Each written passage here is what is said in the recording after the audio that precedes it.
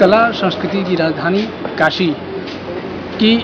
बेटी सोनी चरोतिया एक इतिहास की एक नई इबारत गढ़ने जा रही हैं पिछले चार अप्रैल से लगातार